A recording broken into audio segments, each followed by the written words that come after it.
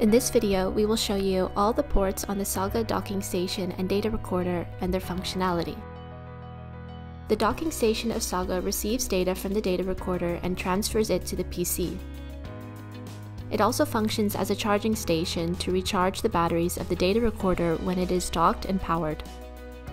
On the docking station, you can find the status indicators of the device. If the power indicator is green, the docking station is powered on and ready. It is important to hear the click sound when inserting the power cable to ensure that it is connected properly. After plugging in the power cord, it can take up to 30 seconds before the LEDs turn green. The docking station features a fiber optics port and a trigger port. The fiber optics cable can be plugged in after opening the lid. Please note the orientation of the fiber connector. Do not force the fiber connector into the slot. The notch must be pointed downwards. The trigger interface allows to acquire up to 16 digital input signals on the trigger channel of Saga to mark specific events. With a trigger cable that can be purchased separately, it is possible to receive up to 8-bit triggers. The trigger cable features a Saga-specific connector on one side and a printer port connector on the other side. The data recorder has three buttons, the on-off button and the recording button marked with an SD card icon. The recording button can be used to start and stop an SD card recording.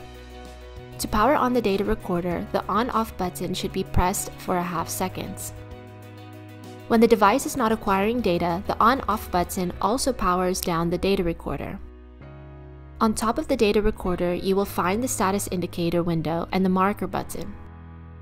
With the marker button, it is possible to send a 1-bit trigger to manually mark a specific event during a measurement. When the device is turned on, the signal mode LED will show solid green, indicating that the device is ready for measurements. This LED will start blinking green when there is an active data transmission. All LED status indicators are explained in Chapter 3.4 of the User Manual of Saga.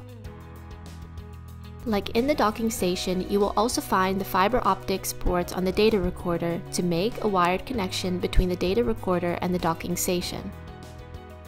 Next to the fiber optics port is a sync out port to send trigger pulses from Saga for synchronization purposes with an external device.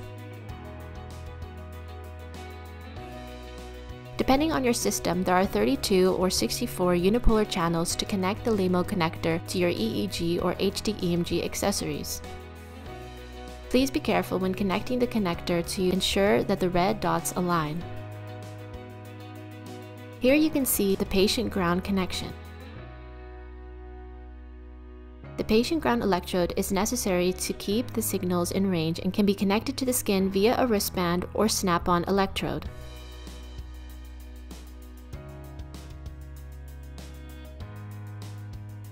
For measurements performed in common reference mode, it is required to connect the reference electrode.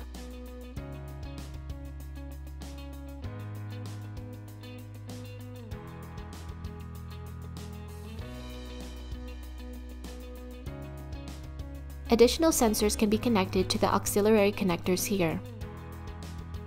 The device supports 9 auxiliary channels which are divided over these three input connectors.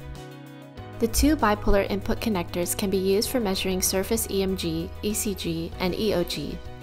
Each bipolar input connector contains two bipolar channels, with one channel representing the difference of two electrodes.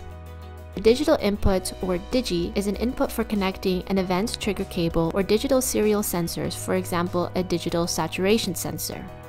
For all of these connectors, it is important that the red dots on the cable and the docking station align. The data recorder contains two battery compartments. To exchange the batteries, press the orange release button to open the battery compartment.